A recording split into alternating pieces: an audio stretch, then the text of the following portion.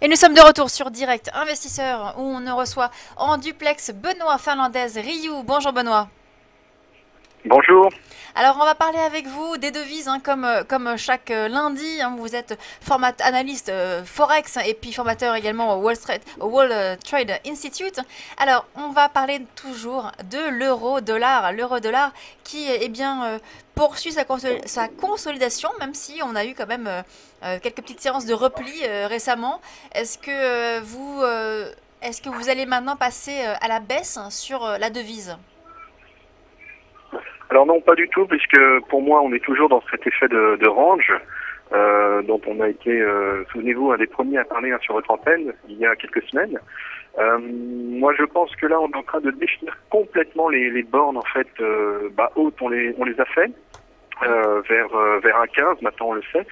Et puis là, plus récemment, un 13, pardon, un 11, un 11 en borne basse de, de ce range. Donc, on est sur un effet 1 11, 1 15 avec un, un 13 en pivot. Euh, on vient du, pivot. Euh, moi, la semaine dernière, je pensais qu'on allait justement revenir sur les, la borne haute du, de, ce, de ce range. Euh, ce n'est pas ce qui s'est passé. Euh, on a eu bon, des, des, petites craintes hein, sur, sur l'inflation aux États-Unis. Ça nous a propulsé vers le bas du, du range. Mais pour moi, on va rester sur ce range et, et un 11 va rester en support. Donc, euh, on, le voit bien sur, euh, le graphique, euh, notamment en 4 heures, on se dirige vers, les 1-11 avec un, petit canal baissier que l'on peut travailler en, pullback pour un, bon point d'entrée à, à l'achat. Donc vous estimez que donc on va rester donc sur ce niveau des 1,11 sur la semaine, hein, parce que je rappelle que vous nous donnez des recommandations donc euh, euh hebdomadaires. Il euh, n'y a, y a, y a, rien qui pourrait faire baisser cette, cette paire, hein, sortir finalement de ce, de ce canal? Non, en fait, on est bon toujours dans, cet effet de, guerre des, monnaies avec euh, une tendance à la baisse des taux directeurs. Demain, on s'attend, ça n'a rien à voir, mais on s'attend quand même, si pour vous rappeler le contexte, à une baisse de, de 0,25, 25 points de base en fait sur sur la, la, la, le taux directeur de, de la banque centrale australienne. Ouais. ça, c'est le, le, consensus qui s'attend à ça. On a eu certaines exotiques aussi euh, des, des, baisses de ci de là. Donc euh, on, on, va avoir euh, comme ça cet effet toujours attentiste au niveau de bah, des majeurs. Sur le sur l'euro, normalement le, le prochain rendez-vous c'est jeudi avec le discours de la BCE. On ne devrait pas avoir de baisse du taux directeur, mais on devrait étudier bah, le, le, discours sans grande surprise. Mais on ne mmh. sait jamais ce que ce que, ce que Mario pourrait bah, nous, nous, nous, réserver comme comme petite surprise. Alors moi, bon, on s'attend pas à des surprises, mais il faudra surveiller ce, ce, ce discours. Et puis vendredi, côté dollar, on s'attend euh, à des chiffres euh, eh ben, un peu meilleurs que prévu au, au niveau du, du, chômage et au niveau euh, des, des non-farm payroll. Euh, donc ça, vendredi, c'est le grand rendez-vous de la semaine sur la paire euro-dollar. dans Bon, en parlant de, de, chômage, on a dans moins de 30 minutes là les, les, les chiffres européens. Alors euh, c'est assez, euh, c'est assez marrant de, de, comparer un petit peu les deux. Euh, en Europe, on est à, à du plus 11%, alors que euh, aux États-Unis, on, on, est à moins de, de 6% de, de, taux de chômage. Donc on est un petit peu dans un effet de, de qui tout double, hein, avec une Europe qui, qui, est à la traîne à, ce niveau-là. Benoît, euh, mais plus... on véritablement à, à des changements de, de, paradigme. Ce qui fait que l'effet de range devrait continuer et le support de, de 1,11 devrait tenir. Moi, je pense qu'on va avoir un pullback, pour tout vous dire, mmh. euh, vers euh, 1.1150 exactement euh, dans, dans les heures à venir, dans la séance à venir. Et ça sera un bon point d'entrée pour, euh, pour un achat pour revenir vers les 1,13 euh, qui est le, la zone pivot euh, de, de ce range. Euh, Benoît, à plus long terme, beaucoup d'analystes surveillent la, parité euh, euro-dollar et certains imaginent une parité parfaite, un dollar pour un euro. Quel est votre sentiment? Est-ce qu'on que vous pensez qu'on qu pourrait y tendre et y arriver à moyen terme? Alors cette parité parfaite, c'est une parité mathématique. Hein. Les, les 1, effectivement, pas mal d'institutions euh, la visent. Euh, bon là, moi j'ai une vue à la semaine et bah, cette semaine en tout cas on n'ira pas. À plus long terme, je ne sais pas parce que ça dépend quand même de, ça dépendait de pas mal de choses au niveau des fondamentaux, mais les fondamentaux sont en train de, alors les fondamentaux sur la Grèce et puis euh, sur euh, ce qui peut se passer avec la Russie sont en train d'aller euh, bah, de, de, mieux en mieux hein, sur le petit à petit, de semaine en semaine. Et en fait, on est d'un point de vue technique en phase haussière sur le mensuel.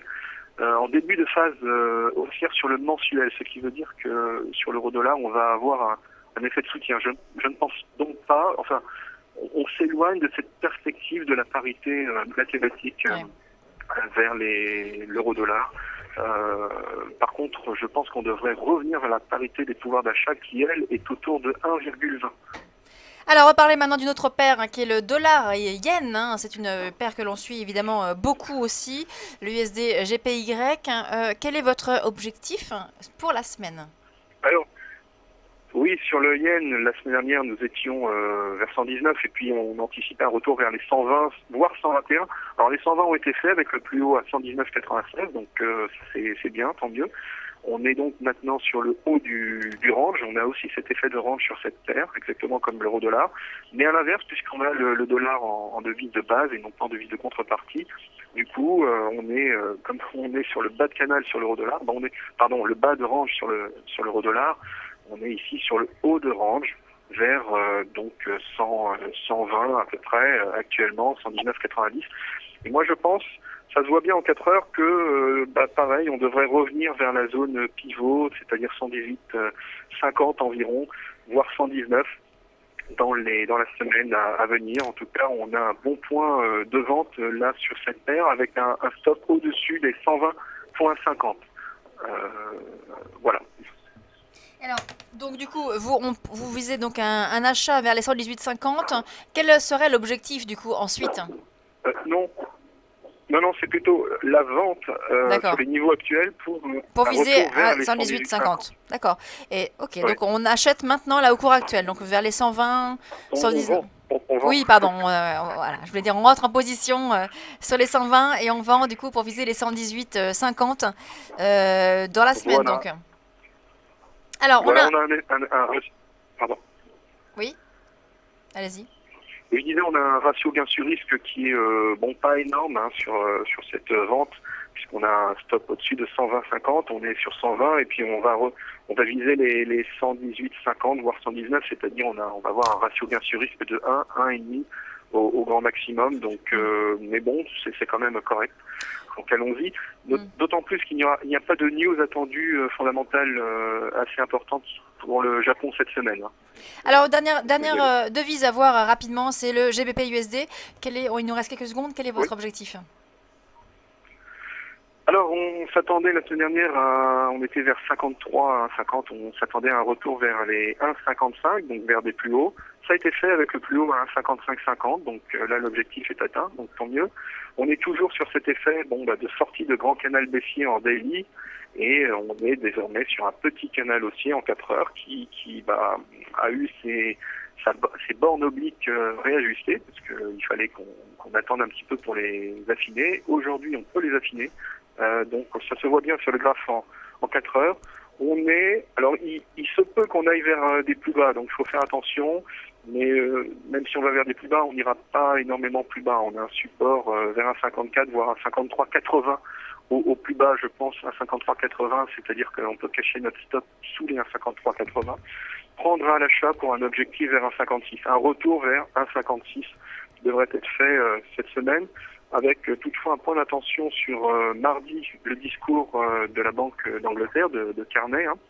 et puis jeudi les décisions sur les taux directeurs GBP. Normalement, on s'attend à un consensus.